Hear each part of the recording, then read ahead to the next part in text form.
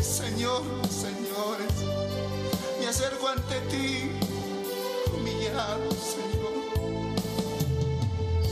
No tomes en cuenta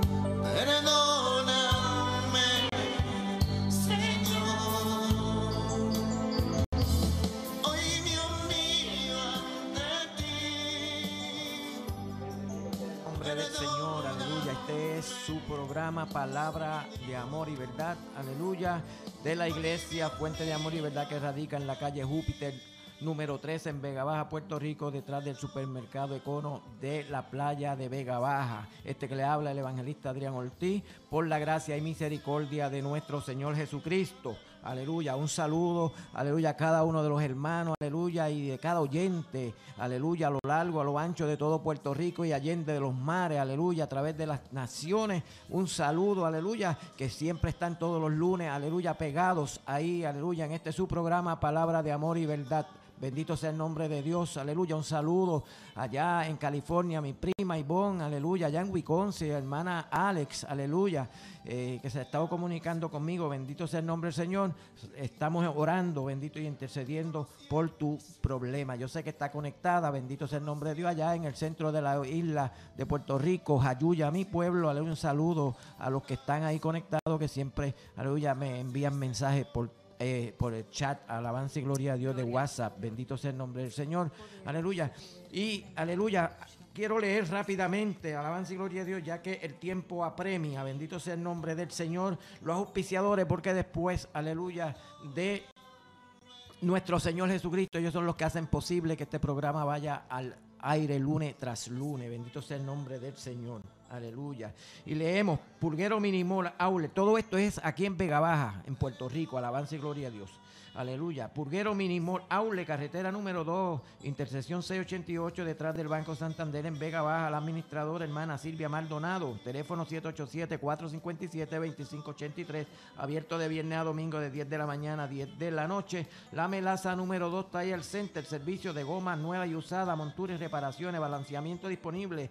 787-321-6642. Su propietario Humberto Rodríguez le atenderá con esmero. Si fuera poco, mejoramos la oferta de la competencia. Eso queda detrás de la entrada, aleluya, del supermercado Econo Pueblo, detrás de gasolinera total. Rodríguez Tire Center, expertos en goma usada al detal y al por mayor. Horario de lunes a sábado de 7 a 7 y domingo de 8 a 6. En la carretera número 2, sector El Criollo 39.8, Vega Baja. Le espera su propietario Humberto Rodríguez. Nuestro lema, aquí se ahorra dinero. Teléfono 787-654-0400 y 220-1390. Mi- Mueblería Ilianita, calle Betance número 5 en Vega Baja, teléfono 787-858-2935. Ahí encuentra todo tipo de enseres y lo que necesita para amueblar su casa. Su propietario Tony Monte le atenderá con mucho gusto. Necesita espejuelo, vaya a Óptica Smart Vision. Sus propietarios le atenderán con mucho gusto en la entrada de Cono Pueblo, detrás de la gasolinera total. Teléfono 787-596-5297 y 807-1581. El servicio y la calidad es nuestro lema. Beyond the Colan Company Interior Design, servicio de diseño, fabricación e instalación de gabinete en PVC y madera. Tenemos vanity, inodoro, grifería, remodelamos todo el interior de su casa, estimado completamente gratis, con más de 10 años de experiencia. Puede llamar al teléfono 787-619-5461. Autopal el doble 3. Tenemos piezas japonesas, americanas, baterías, accesorios para su auto. Estamos ubicados en la carretera 155 en la cuesta de los Carrillos, subiendo para altura de Vega Baja, al lado de los chinos, abierto de lunes a sábado de 8 a 6. Será atendido por su propietario Johnny Uva. Los más baratos empieza. Te igualamos la oferta de la competencia 787-915-6890 y 224-0816. Aleluya. Vamos a ir rapiditamente, alabanza y gloria a Dios aleluya, a una porción de la palabra que se encuentra en Eclesiastés 10.4, aleluya, capítulo 10, versículo 4. Una, eh, este versículo se ha predicado y se cita muchísimo. Bendito sea el nombre de Dios, aleluya. Pero como la palabra de Dios, aleluya, no envejece, alabanza y gloria a Dios, sino que el Espíritu, alabanza y gloria a Jesucristo, siempre la tiene vigente, alabanza y gloria a Dios, aleluya, para el tiempo de hoy. Bendito sea el nombre del Señor, sin nosotros cambiarla ni nada. El mismo Espíritu es el que da el mensaje. Aleluya. Y vamos a leer y dice, en nombre del Padre, del Hijo y del Espíritu Santo. Y dice, si el espíritu del príncipe se exaltare contra ti, no dejes tu lugar, porque la mansedumbre hará cesar grandes ofensas. Alabanza y gloria a Dios. Aleluya. Dar un saludito ahí para que... Dios bendiga a cada hermano que nos está escuchando. Eh, esperemos que ¿verdad? Se, sean edificados en esta hora por medio de la palabra. Amén, aleluya. En los teléfonos puede llamar al 787-369-6329 y 654-0366. Ahí va a estar nuestro hermano José Vázquez cogiendo, aleluya, sus peticiones. Y puede enviar mensaje de texto al 787-359-5180. Aleluya. El tema es, de tu reacción depende tu victoria. Bendito sea el nombre de Dios. Aquí en este texto habla de mansedumbre y la mansedumbre es tener una actitud de, de, manso, según dice la Biblia, humildad y carencia de altivez. Alabanza y gloria a Dios.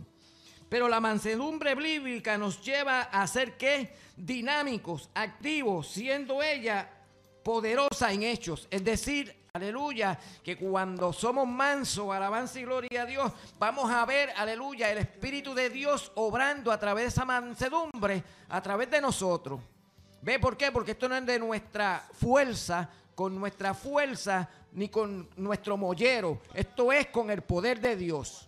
Cuando somos mansos, aleluya, que no entramos en esa defensa, en esa tiraera, bendito sea el nombre de Dios, aleluya, con ese espíritu de altivez, de prepotencia, bendito sea el nombre de Jesús.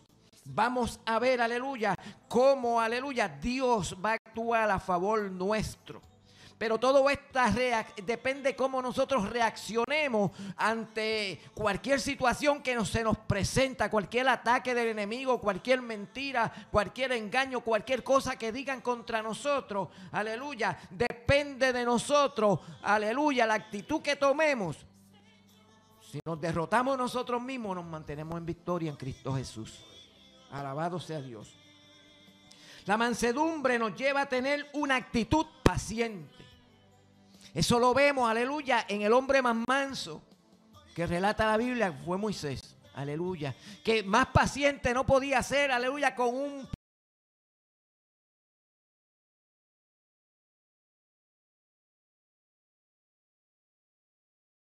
pueblo testarudo, un pueblo duro de servicio, un pueblo completamente rebelde.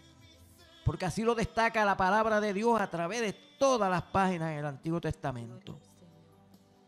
Mas sin embargo, aleluya, llegó el momento que aún Dios mismo quería destruir al pueblo que había sacado de Egipto. Pero Moisés, aleluya, como era manso, él no se dejó llevar por el calor de sí, Señor, porque me están haciendo la guerra, porque me están haciendo la cosa imposible. No, no, destruyelo. No, no. Dios le dijo, voy a destruir ese pueblo y voy a levantar un pueblo poderoso de ti. Mas sin embargo, él no dijo así. Moisés la reacción fue diferente. Fue una de victoria en sí mismo. ¿Por qué? Porque sabía en quién había creído y sabía que Dios era misericordioso, aleluya, y que podía, aleluya, a través de la intercesión cambiar la reacción de Dios, el pensamiento de Dios. Y comenzó una conversación y comenzó a decir, ¿qué van a decir ahora los egipcios? Que después que los sacaste, aleluya, de allá, aleluya, los dejaste morir en el desierto. ¿Qué van a decir las naciones? Lo mismo por cuanto no los pudiste entrar a, a, lugares que le prometiste, los dejaste morir. Amados, y a veces nosotros, a veces nosotros tomamos una actitud, aleluya, de venganza. Y destruimos, aleluya, el plan que Dios tiene cuando Dios nos manda, aleluya, a tener una actitud de que de reverencia, en humildad delante de su presencia y, aleluya, adorarle primeramente y después entrar en ese, en ese, aleluya, coloquio, en esa conversación, bendito sea el nombre de Dios, entre Él y nosotros, aleluya, como buenos amigos, bendito sea el nombre de Dios. Como amigos, porque Jesucristo dijo que ya no seríamos siervos, sino amigos. Pero a veces la reacción que tomamos es contraria y destruimos el propósito de Dios en nuestra vida. La paciencia, mire, es tu mejor amigo. Al momento de manejar que el enojo. ¿Por qué? Porque cuando se levantan contra nosotros, como dice aquí, si el príncipe es exaltar, ¿qué es exaltar? Alguien que se se quiere hacer el más grande, el más alto, pero dice que a los que se exaltan Dios los, aleluya, los mira de lejos, alabanza y gloria a Dios, pero nos provocan que enojo a nosotros. Si no estamos bien agarrados de nuestro Señor Jesucristo, de su manto, aleluya, podemos, aleluya, perder la bendición de Dios, aleluya, como la perdió en algún momento dado Moisés, aleluya. Que ante el momento acalorado tomó una decisión que no fue la mejor y en vez de hablarle a la peña le dio. Y a veces nosotros actuamos bajo el calor de nuestra mente, de lo que estamos sintiendo. Se erizan nuestras emociones, aleluya. Y rapidito queremos atacar, aleluya. ¿Por qué? Porque cada situación, aleluya, puede llevarnos a que a perder la karma, alabanza y gloria a Dios y no podemos perder la calma. No podemos perder la calma porque lo que parece grave en el momento, que a veces nos parece grande, aleluya, luego cuando pasa la situación que la analizamos, entonces parece que nos echamos hasta reír. Era algo sin sentido, algo insignificante, pero lo malinterpretamos de tal manera que entonces vimos aleluya, contra aquel hermano, aleluya, contra que la autoridad se levantó contra nosotros. Y quizás lo que nos dijo, nos dijo por bien. Pero el manso acepta corrección. Por eso es que nosotros, aleluya, tenemos que mantenernos, aleluya, con la mansedumbre. Bendito sea el nombre de. ¿Por qué? Porque no podemos pagar, aleluya, con la misma moneda, aleluya, contra el que, aleluya, se exalta contra nosotros. Si Él nos dice, nosotros no podemos entrar en un dime y direte. Bendito sea el nombre de Dios. Si Él nos maldice, aleluya, nosotros no podemos decir, te va a llevar el diablo, aleluya, eh, arrepiéntete porque tú eres un hijo de Satanás. Mire, hay que tener cuidado, se está dando. Alabado sea el Señor. Y no podemos así, la actitud es, aleluya, ¿Cómo yo voy a expresar? ¿Por qué? Porque las palabras tienen poder. Pueden bendecir o pueden maldecir. Y, y ahí es donde tenemos que nosotros tener cuidado. Mi hija Cali. Glorificado sea el nombre del Señor. Así que la blanda respuesta, ¿verdad? Aplaca la ira. Poderoso es el Señor, aleluya. Así que nosotros debemos responder con una, mira, respuesta así bajita, con una respuesta blanda, poderoso Dios, con suave hablar, poderoso es el Señor, aleluya. Y vamos a ver cómo las cosas van a ir mejor, poderoso Dios, se van a arreglar, aleluya porque entonces entramos en, hablarnos y comenzamos a gritar y a elevar la voz y la ira se va levantando, poderoso Dios, aleluya, hasta que cometemos cosas o decimos cosas que no debemos, poderoso es el Señor, aleluya. Y estamos hablando, poderoso Dios, aleluya, de tu reacción depende tu victoria, poderoso es el Señor, aleluya.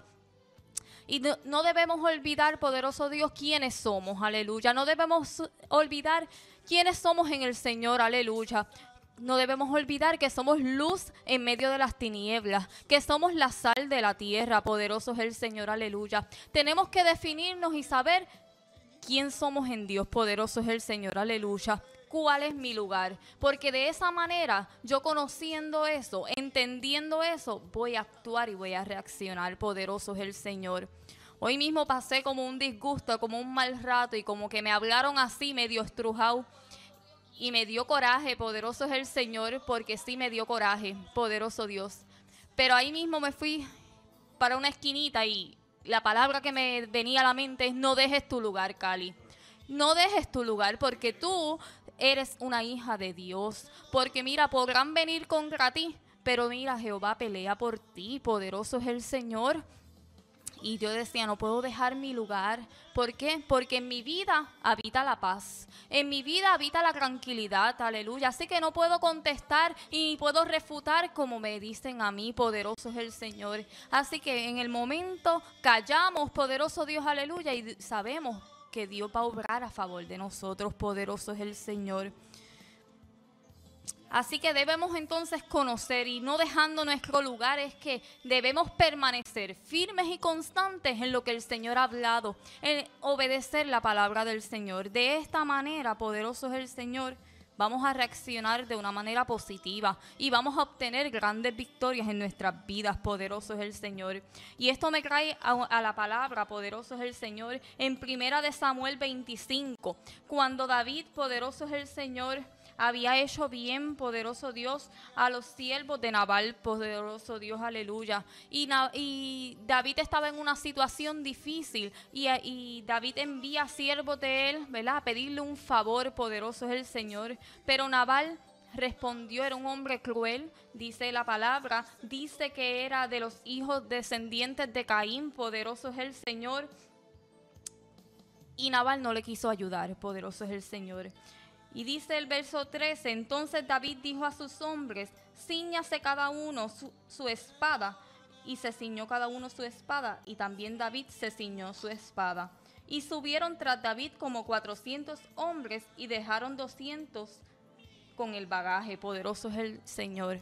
Así que David resolvió ir a matar a Nabal, poderoso Dios. Y no solamente a Nabal, sino a toda su casa, a todos sus hijos y sus descendientes varones. Él los iba a determinar ma- matar. Su reacción en ese momento fue de venganza, poderoso es el Señor. Él dijo, mira, yo lo que había hecho bien a Nabal y él respondió con mal. Yo le había hecho el bien y él me respondió con el mal, poderoso Dios. Y ahí él iba a responder ahora en este momento con venganza ante el poderoso Dios.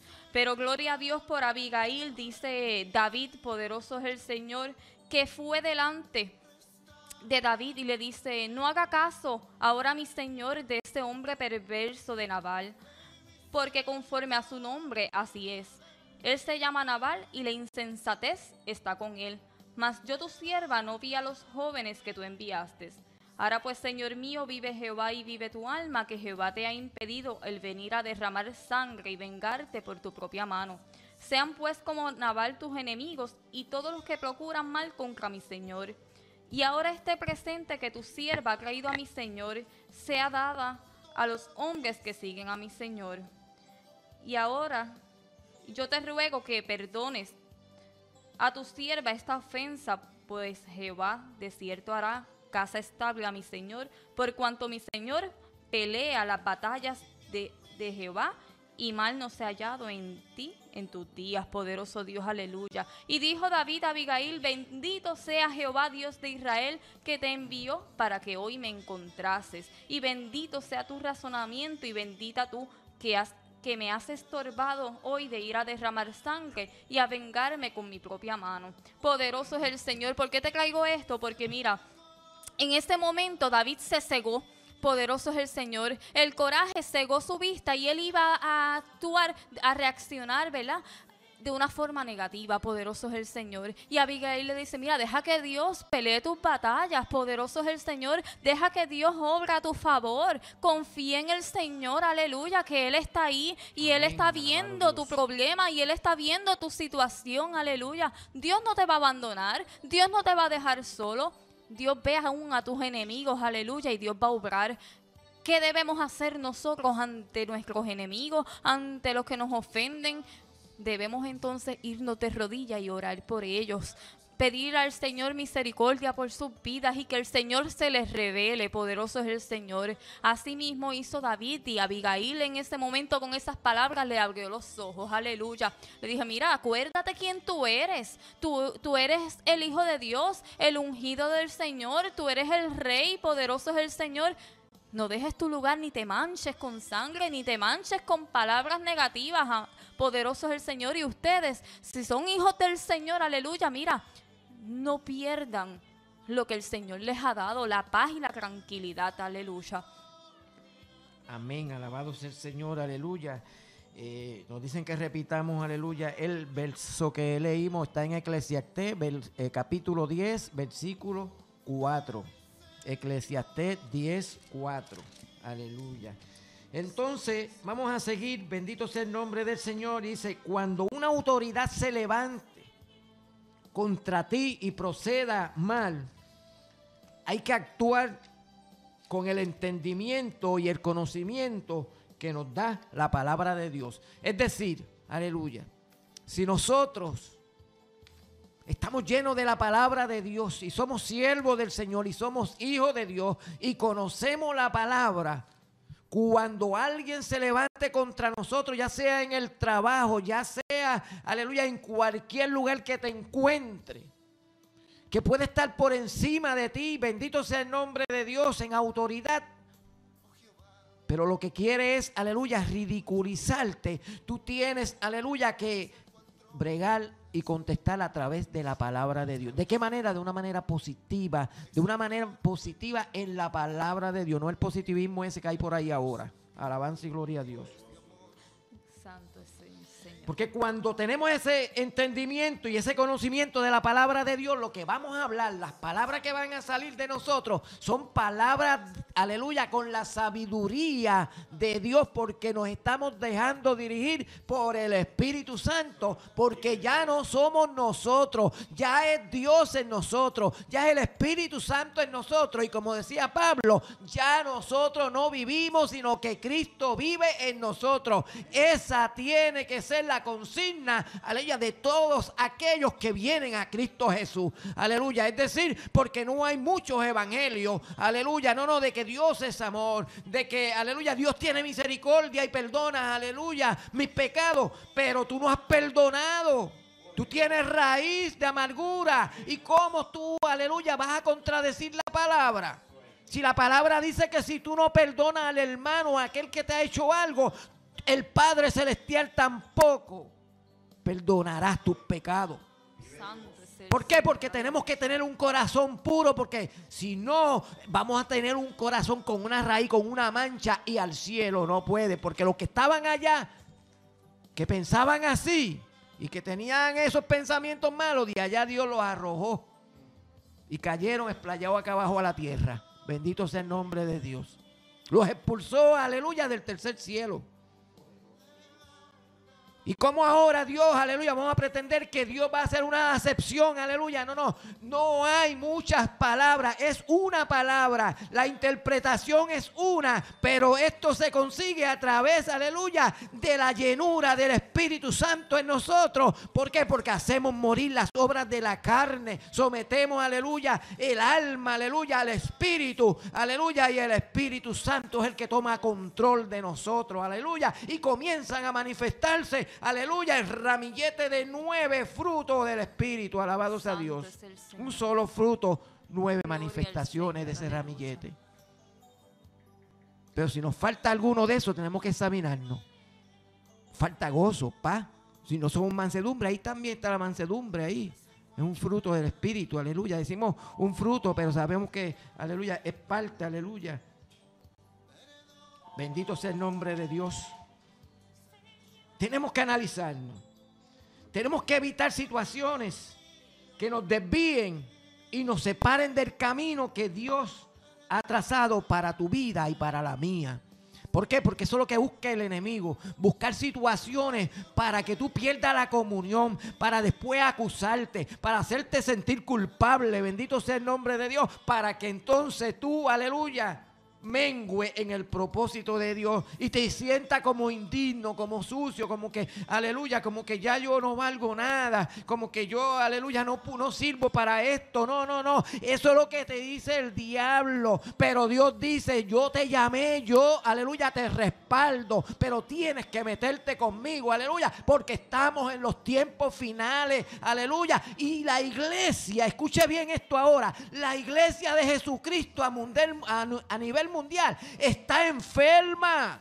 La iglesia completa está enferma. La iglesia tiene que ser sanada. La iglesia tiene que ser dirigida por el Espíritu Santo, que es el que nos puede sanar interiormente para tener exteriormente una vida saludable ante el entorno, aleluya, en donde vivimos. Porque mientras la iglesia siga enferma, van a estar en dime y direte, alabado sea el Señor, y nunca van a entrar, aleluya, por el mismo lugar. Y se perderán como la arena del mar, aleluya. Cuando Dios no quiere eso, porque la salvación está extendida para todos, pero dice, aleluya, que solamente para los que creen, la salvación es para los que creen, no para los que andan contendiendo, no es para los que están mandando a la gente para el infierno, porque el Evangelio, aleluya, no es condenación, el Evangelio es salvación, porque para eso vino Cristo, para salvar. Por eso dijo, el reino de los cielos se ha acercado. Y no vino a buscar, aleluya, sanos, sino a enfermos. Al que tenía la necesidad. A ese es que hay que bregar. ¿Cómo yo voy a estar mandando a alguien, aleluya, para el infierno, aleluya, para el infierno? Y que eres un hijo del diablo y eres una hija del diablo. Alabanza y gloria. Mire, hay que tener cuidado. Usted no conoce a la persona, usted no sabe la relación que esa persona tiene con Dios. Y si es una persona que está da- dando testimonio, se lo digo porque a mí también, así me, me- a mí me lo dijeron. Te tienes que arrepentir. Y yo lo que estoy hablando es porque por eso es que yo digo que hay una iglesia que está enferma. Y a través de muchos testimonios que he recibido. Yo aquí no vengo a hablar a nada que me invente, aleluya, es porque, aleluya, me lo han confesado, aleluya, o yo lo he vivido. Ah, por un incidente que pasó, que no fue incidente. Pues solamente, aleluya, porque una persona iba a chocar un carro y yo le hice señal así con la mano, que se detuviera. Y ya para eso se fue detrás y, y ya usted sabe lo que me dijo. Alabanza y gloria a Dios. ¿Para qué repetirlo? Una iglesia enferma y después llevan muchísimos años, una pena. Que yo me puse con ella a ponerme de pico a pico, porque fue una mujer, aleluya, a ponerme de pico a pico. No, de rodillas, Señor, ten misericordia porque es un alma de salvación, brega con ella. ¿Por qué? Porque yo no voy a manchar mi corazón, yo no me voy a poner a la altura de ella.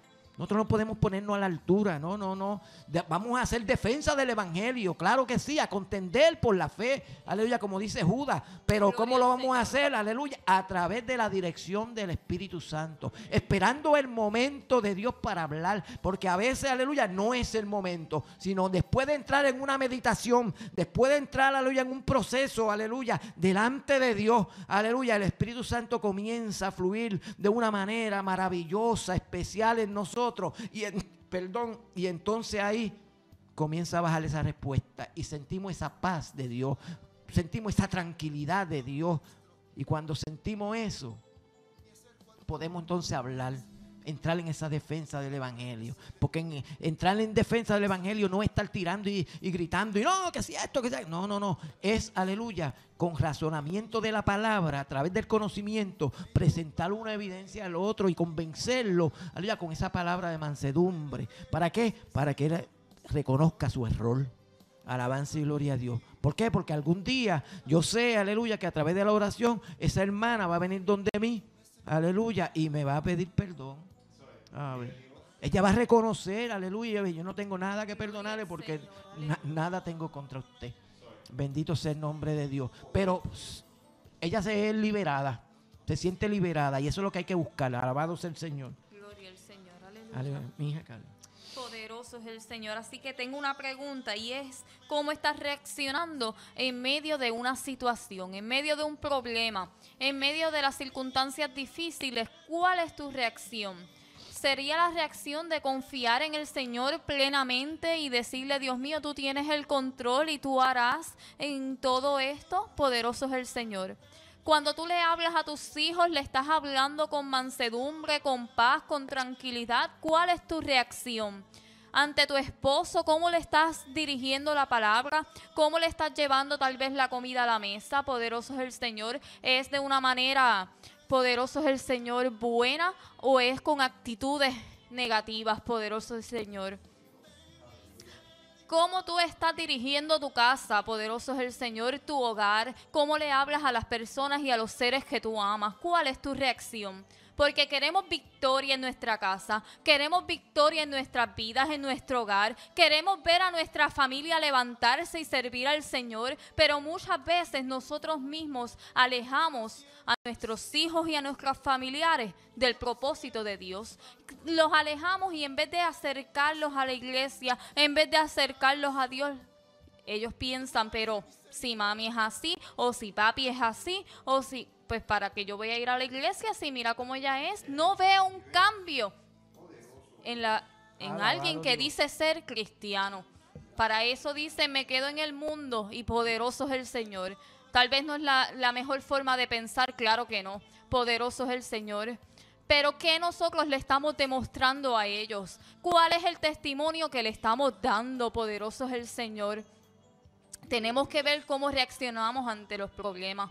Queremos que nuestra familia y nuestros hijos confíen en Dios. Nosotros tenemos que dar el ejemplo que al medio de la situación, que no tengo nada en la alacena, que no tengo comida, poderoso es el Señor, pues mira, Dios va a suplir. ¿Cuáles son las palabras? Josué y Caleb, poderoso Dios, dos, de los dos espías que fueron enviados a la tierra prometida, poderoso es el Señor, cuando e- ellos van a dar el informe ante el pueblo de Israel, ellos dos fueron los únicos que dijeron, Jehová nos envió, Jehová va a darnos la victoria, Jehová va a pelear con nosotros, aunque hayan gigantes allí, aunque hagan ciudades fortificadas Amén, en ese lugar, Dios. aunque haya lo que haya, mira, Dios no lo prometió, Dios no los va a dar. Ellos profesaban con su boca la victoria que Dios le iba a entregar en sus manos, poderoso es el Señor. Pero ¿qué hicieron los otros diez espías? Profesar negatividad y asimismo impartir a los demás esa negatividad. Impartieron miedo, impartieron temor, porque dijeron, es que esto está difícil, esto no se va a poder, lo que hay es gigante. Y tuvieron miedo, poderoso es el Señor, pero ese miedo y ese temor se lo infundieron a los demás. Nuestra palabra y nuestro decir tiene que ser como un hijo de Dios, tiene que demostrar, aleluya, la grandeza de Dios en nuestras vidas, aleluya. Que nosotros hemos en confiado en un Dios vivo, en un Dios grande, en un Dios maravilloso. Que todo el mundo sepa que Jehová vive, poderoso es el Señor. Todo el mundo va a saber que vive a través de nosotros.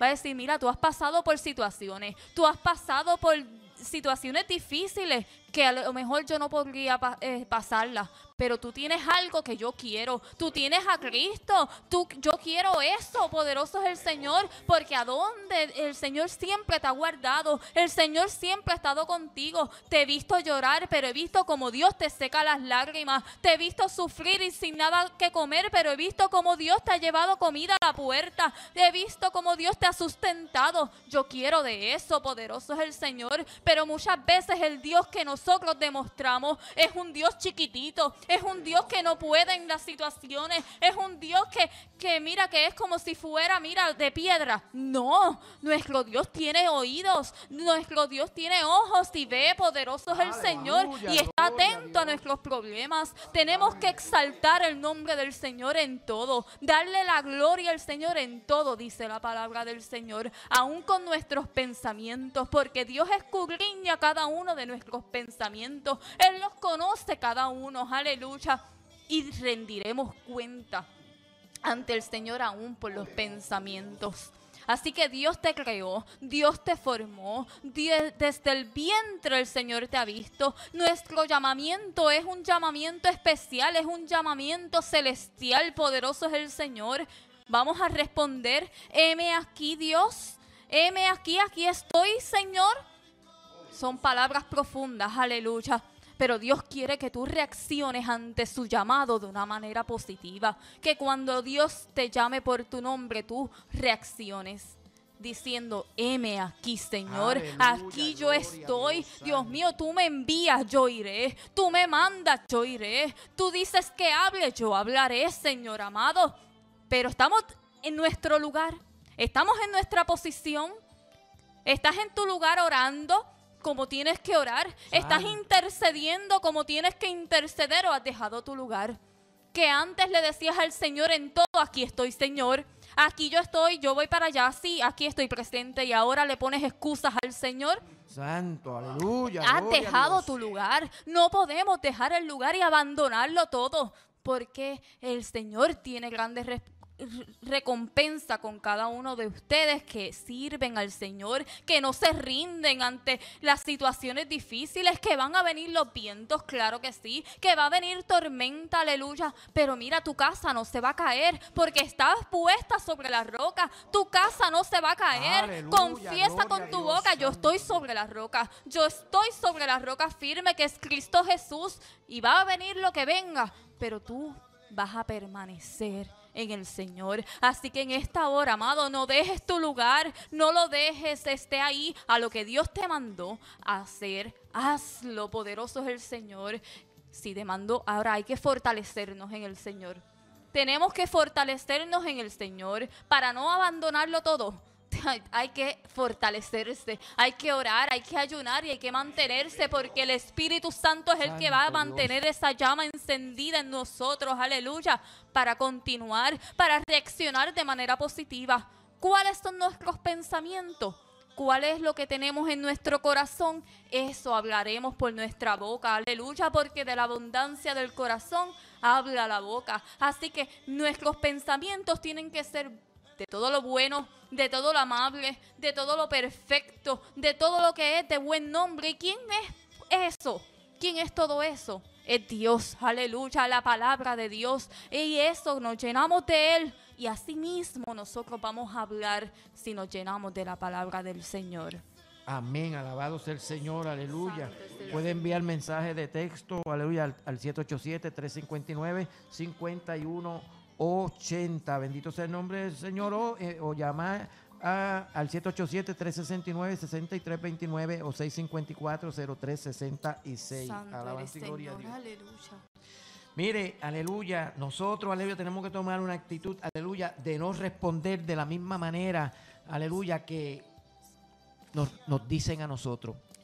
Y eso, aleluya, está en Proverbio, en Proverbio 15, 18, dice, el hombre iracundo promueve contiendas, mas el que tarda en airarse apacigua la rencilla.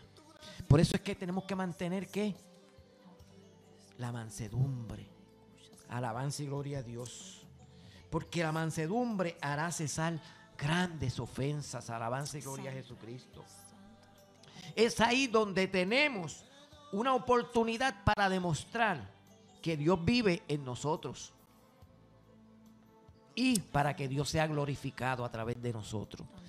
De nuestra reacción depende lo que van a decir los demás. Porque nosotros somos cartas abiertas al mundo.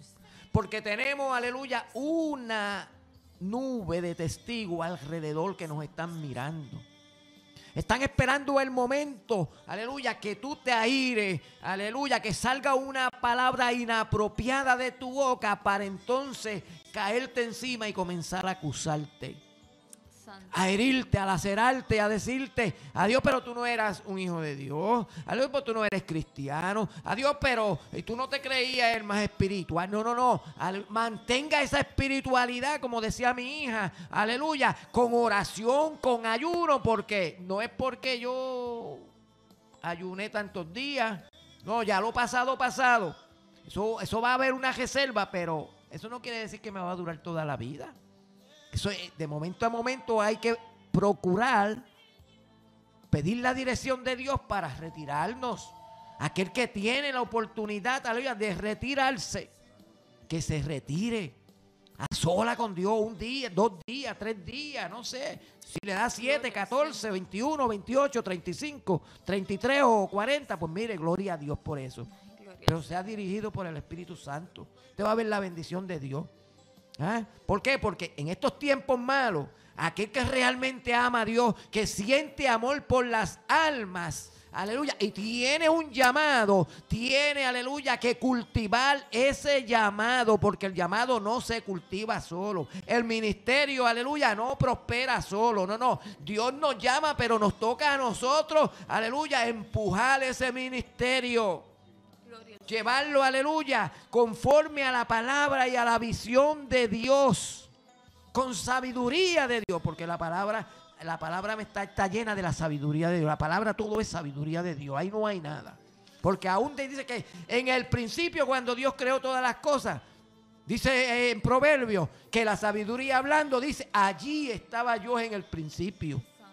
Porque Dios no es loco, Dios no, no obra lo loco, aleluya, no tira palos a ciegas. Dios, oh, ah, todo es un Dios ordenado, Dios hace las cosas perfectas, aleluya. ¿Por qué? Porque Dios ya ha visualizado cómo va a quedar cada cosa. Y ya Dios te ha visto, aleluya, en su mente cuál va a ser el resultado y a dónde tú vas a llegar delante de Él en el futuro. Dios no está viendo ahora tu, tu presente ahora de que te estás cayendo. No, levántate porque ya Dios te está viendo como un guerrero, como una guerrera, aleluya, más adelante.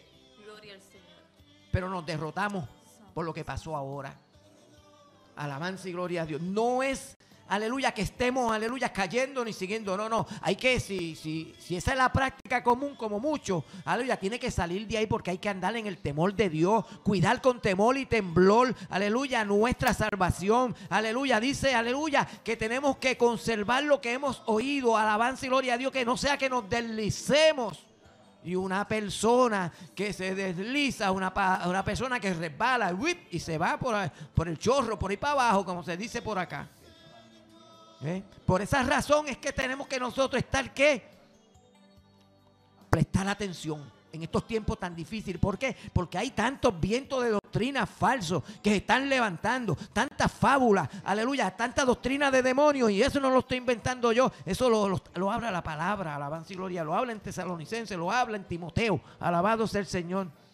Pablo y, Pedro también lo dice que se levantarán maestros conforme a su propia concupiscencia, aleluya, y muchos seguirán porque tienen que comezón de oír, aleluya, lo que quieren es escuchar cosas bonitas, que le profeticen, a mí que me profetice la palabra de Dios, porque yo busco el reino de Dios y su justicia, y las demás cosas me tienen que aparecer porque es promesa de Dios, porque dice que si yo lo busco a Él, de todo corazón, con toda mi alma, con toda mi mente, con toda mi fuerza, dice que las demás cosas van a ser añadidas. Y como es palabra de Dios, yo me encargo de lo de Dios y Dios se va a encargar de lo mío. Y como decía mi hija ahorita, Dios no te va a dejar sin comer. Ah, que va a estar estreché. Ah, el apóstol Pablo dice, teniendo sustento y abrigo, estemos contentos con eso. Es decir, teniendo pan, lo necesario para comer, y una camita, aleluya, y una frisita para cubrirte. Esté contento con eso. Lo demás, mire, si viene, pues gloria a Dios, aleluya. Pero no es porque tengamos ese afán, no es porque pongamos ese corazón en esas cosas, aleluya. ¿Por qué? Porque eso es lo que quiere el enemigo, desviarte del propósito de Dios. Ya no hay tiempo para esas cosas, porque ya Cristo viene. Tú que estás escuchando la palabra, tú que, aleluya, estás apartado, tú que estás retenido, tú que todavía no estás convertido, pero estás, aleluya, escuchando ahora, aleluya. Yo te digo, aleluya, te hago un llamado. Ven a Cristo, acepta a Cristo, reconcíliate con Cristo y busca un lugar, aleluya, donde congregarte. Sal de esa retenedera que tiene, alabanza y gloria a Dios. Vuelve, olvídate de lo que te hicieron, aleluya. Porque por uno, por una iglesia, aleluya, que obró mal, no todas son iguales. Por un pastor que obró mal, aleluya, no todos son iguales. Hay pastores, aleluya, a través, aleluya, a lo ancho y lo largo del mundo entero que son pastores de Dios, de verdad, aleluya. Como los hay, aleluya, que no son de Dios. Porque eso, aleluya, oh, gloria a Dios. Yo orando le preguntaba eso a Dios.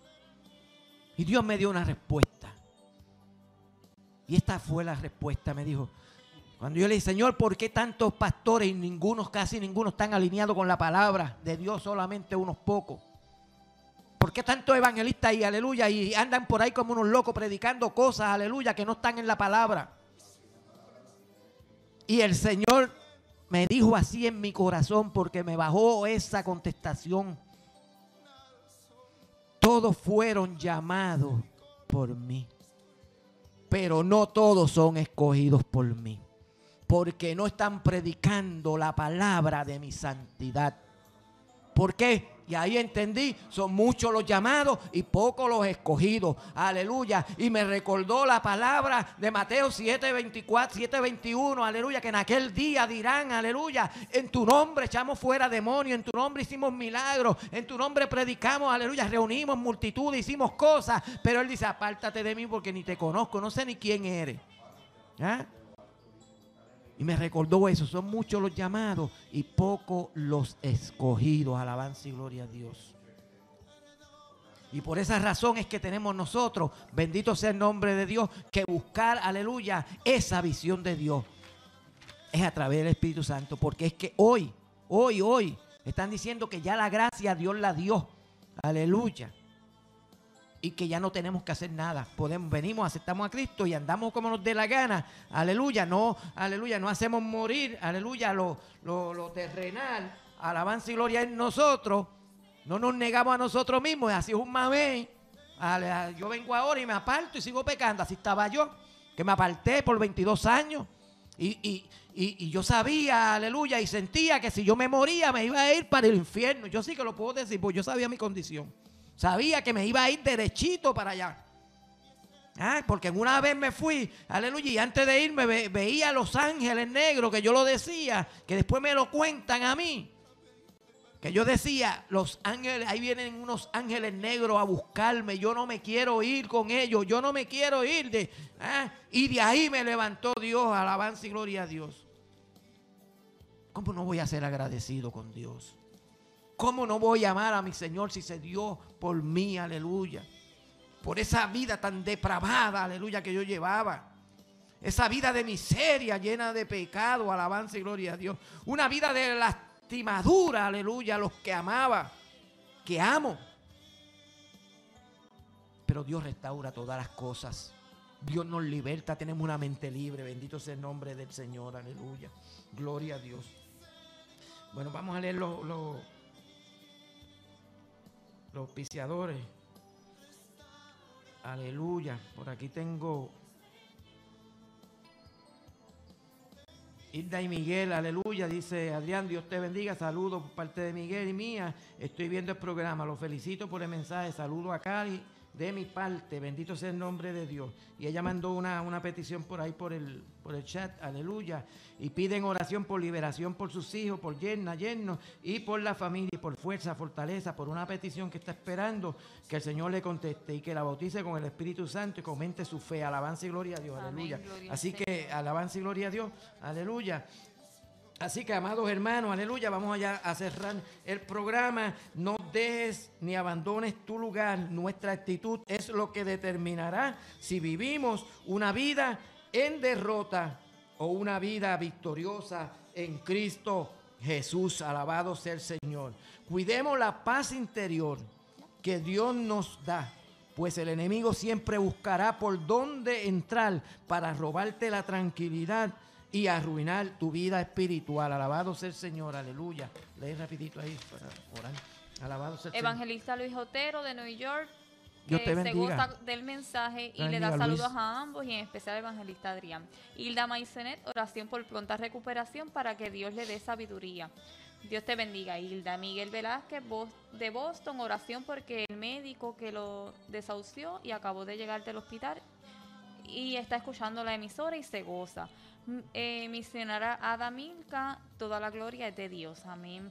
Mari- Marín, Señor, ayúdanos a ser como tú. Carlos Nieves de Florida, oración por fortaleza y por su familia. Amén. Vamos a estar orando, aleluya. Y Amén. para despedirnos y encontrarnos nuevamente, si el Señor no ha venido antes, el lunes próximo, aleluya. Padre Santo, Padre bueno, Dios mío, gracias, Dios, mío, por tu palabra, Señor, Dios mío, Señor, Dios porque tú eres aleluya, bueno y para siempre es tu presentamos, Dios mío, misericordia. Te presento a cada uno, Dios que ha estado conectando, escuchando el Oh, mensaje, palabra, Señor, Dios mío, a través, vidas Señor, de del día y a esta hora, Dios mío, a amado. través de esta Oh, emisora. mío, Bendice esta este emisora, Dios mío, Señor. Bendice a cada mío, hermano. Mira los que han llamado, mira sus mío. contestaciones, Padre. Tú las conoces, Dios mío, Señor. Yo te pido que tú obres, Dios mío, Señor. Rompo toda cadena del enemigo, todo mío, lo que a se levante contra ella, todo, aleluya, lo que Oh, se quiera mío, exaltar en su vida, en su hogar, mío, su matrimonio, Dios mío, en su casa. Oh. Padre amado, atamos y reprendemos, Dios mío, declaramos esos hogares libres Oh, para ti, mío, Padre, en el nombre de Jesús, Dios mío. Señor. Aquellos que han pedido, Dios mío, por sabiduría, por fuerza, bautismo del Espíritu Santo, concédele esa experiencia, Dios mío, en el nombre de Jesús.